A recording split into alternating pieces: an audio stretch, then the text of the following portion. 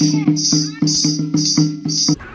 Friends स्वागत है आपका मेरे इस नए ब्लॉग में। तो आज हम लोग शांति निकेतन की ट्रिप करने वाले हैं और आपको भी दिखाएँगे शांति निकेतन चलिए हमारे साथ शांति निकेतन घूमने के लिए। ये शॉप है दोस्तों। यहाँ पे हमने लांगचा खाया। लांगचा बहुत ही बकवास था। तो अब मैं आपको एक रूम टूर देने जा रहा हूँ। हमने दो रूम बुक किए थे द क्रीक रिसोर्ट में। जो कि शांति निकेतन में है, नया ही खुला था ये। और ये जो आप देख रहे हैं, ये प्रेसिडेंशियल रूम है।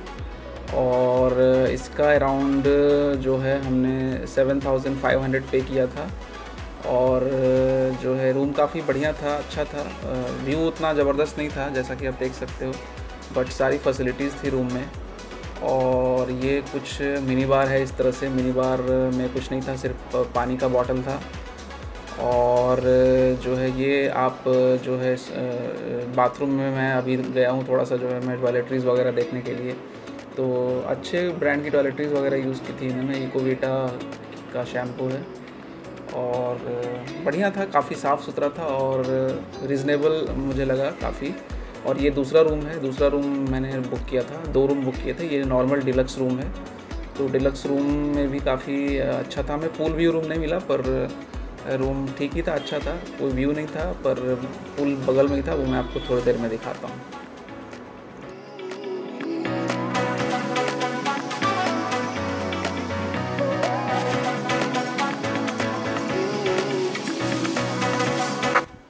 लंच में द क्रीक का इन हाउस रेस्टोरेंट जो था, वो हमने यूज़ किया, और वो काफ़ी साफ़ सुथरा और काफ़ी अच्छा एम्बियंस था। सलाद के साथ हम लोग अभी इंजॉय कर रहे हैं। बना है हमारा।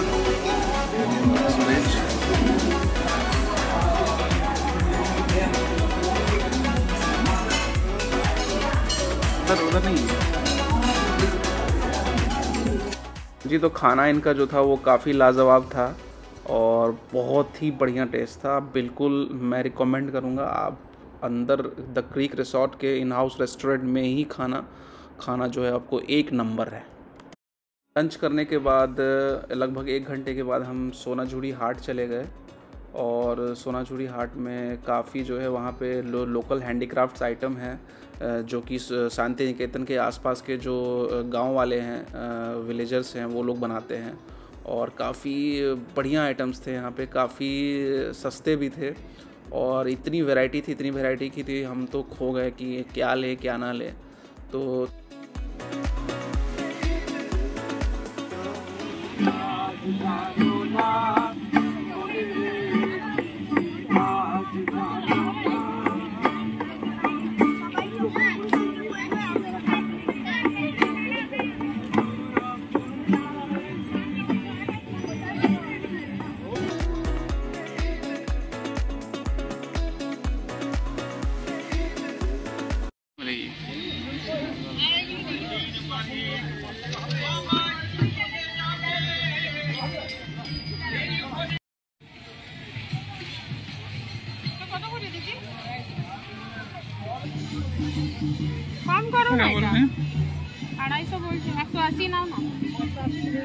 आइए आपको सोना सोनाझुड़ी हाट के आसपास की कुछ और झलकियाँ दिखाते हैं। आगे बढ़ने से पहले ब्लॉग में।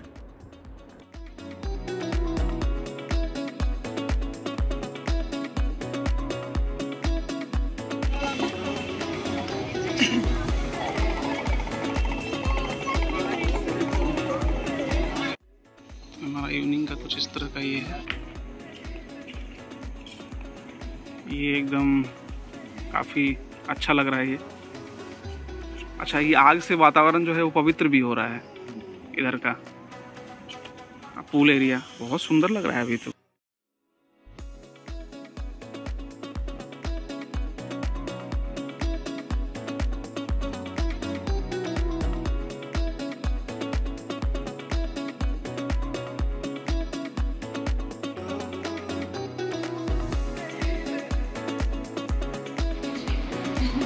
टी पार्टी चाय का मज़ा ले रहे हैं हम लोग। चाय पीने के बाद हम पूल साइड गए और इवनिंग में पूल जो है वो काफ़ी बहुत सुंदर लग रहा था और बहुत ही ब्यूटीफुल एम्बियंस था पूल का। तो हमने पूल साइड जो है इवनिंग में इन्जॉय किया और थोड़ा सा मैंने नहाया भी पूल में। काफ़ी अच्छा था पूल का एक्सपीरियंस पूल हल्का सा वार्म था और जो काफ़ी कंफर्टिंग लग रहा था पूल एरिया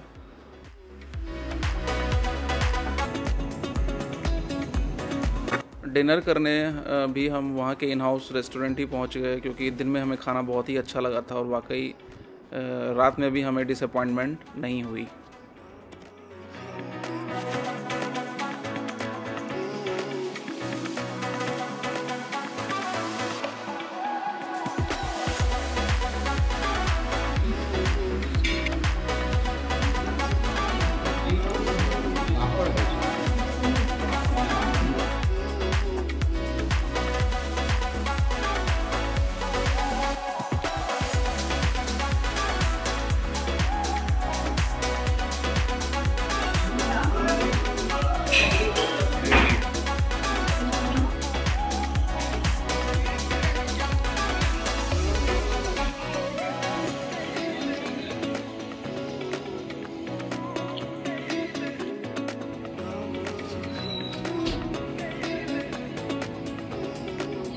नेक्स्ट मॉर्निंग जो थी वो काफ़ी ब्यूटीफुल थी और कुछ इस तरह का एम्बियंस जो था सुबह का था रिसोर्ट का, ये लगभग साढ़े आठ बजे के आसपास का टाइम है। और फ्रेश होके हम ब्रेकफास्ट करने पहुँच गए। ब्रेकफास्ट जो था वो रिसोर्ट के ही रेस्टोरेंट में था फ़र्स्ट फ्लोर पे था।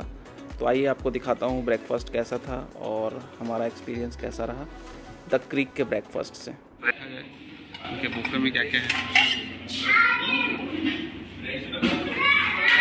जूस फ्रूट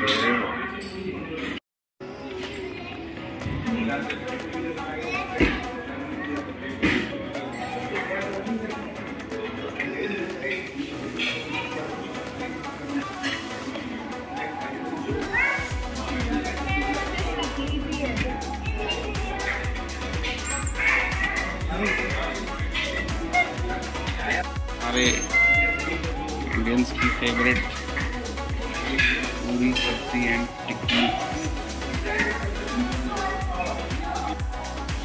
बड़ी बड़ी पूड़ियाँ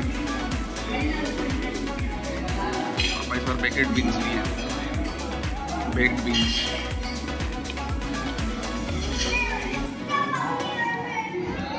ब्रेकफास्ट के बाद हमारा पहले से ही प्रोग्राम था ई रिक्शा राइड का, जो कि शांति निकेतन के जगह जगह पे राइड करवाने वाला था हमें। तो सबसे पहले तो हम विश्व भारती कैंपस गए, वहाँ पे हमें ये बैनियन ट्री दिखी और मड हाउसेस दिखे, गुरुकुल टाइप से वहाँ पे जो विश्व भारती यूनिवर्सिटी में चलते थे। और ये उपासना गृह है, ये बेल्जियम ग्लासेस का बना था, इसको कांच मंदिर भी कहते हैं। ये जो है, ये है आपको नाट्य गृह है। तो इस तरह से हम कैंपस ही घूमे और फिर हम रविंद्र भवन चले गए, जो कि रविंद्र भवन में ही म्यूज़ियम था। यहीं पे रविंद्रनाथ टैगोर जी रहते थे। तो म्यूज़ियम के अंदर तो कैमरा अलाउड नहीं था तो इसलिए हम कैमरा नहीं ले जा पाए, लेकिन बाहर से हमने थोड़ी बहुत वहाँ का जो है सराउंडिंग को कैप्चर किया। और म्यूज़ियम देखने के बाद हम चले गए रविंद्र भवन की ओर, जो कि रविंद्रनाथ टैगोर जी का रेसिडेंस था। तो बहुत ही सुंदर रेसिडेंस था उनका, ये आप देख सकते हो, उनका बंगला जो है, और ये उनका कंपाउंड है। काफ़ी लोग पिक्चर्स वगैरह ले रहे थे। तो चलिए आपको और दिखाते हैं। और ये है उनकी गाड़ी जिनसे रविंद्रनाथ टैगोर जी चलते थे। तो अभी ये अंदर रखी हुई थी शीशे के गैराज में। रविंद्र भवन से हम चले गए बल्लभपुर वाइल्ड लाइफ सेंचुरी जो कि हमारे पैकेज में ही था ई रिक्शा के पैकेज में ही। तो यहाँ पे हम थो, हमने थोड़ा देर स्टे किया और यहाँ का जो है, यहाँ पे हिरन वगैरह काफ़ी हैं। तो हिरनों को हमने इन्जॉय किया। आप भी देखिए, बहुत सुंदर यहाँ पे एक जगह पे काफ़ी हिरन जमा थे। बहुत ही सुंदर लग रहा था। और इसके बाद हम शिल्पग्राम की ओर आगे बढ़े।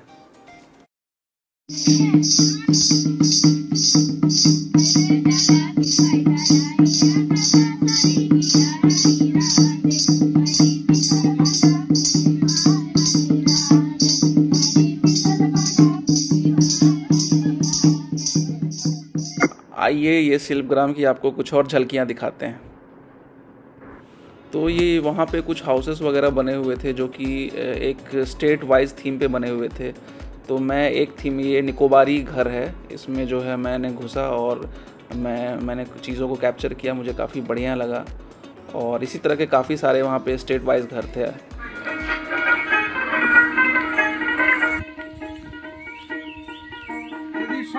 थके যায় সবাই করে ভয়। সবাই থাকে মুক্তি যায় সবাই করে ভয়। তবে তোর পরার খুলে।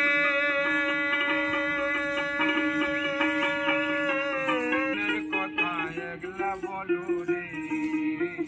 যদি তোর যদি তোর ডাক শুনে কেউ না আছে, তবে একলা तो ये सृजनी शिल्प ग्राम जो है हमारा लास्ट स्टॉप था क्योंकि थोड़े से पापा थक गए थे काफ़ी उस दिन गर्मी थी। तो इसलिए अब हमने डिसाइड किया कि हम अब नेक्स्ट के कुछ पॉइंट जो है स्किप करके अब हम वापस जो है कोलकाता की ओर प्रस्थान कर जाएँगे। तो दोस्तों होप करता हूँ कि आपको ये ब्लॉग काफ़ी अच्छा लगा होगा। और अगर आपको अच्छा लगा है तो लाइक और सब्सक्राइब करना ना भूलें। दिल खोल के लाइक और सब्सक्राइब करें और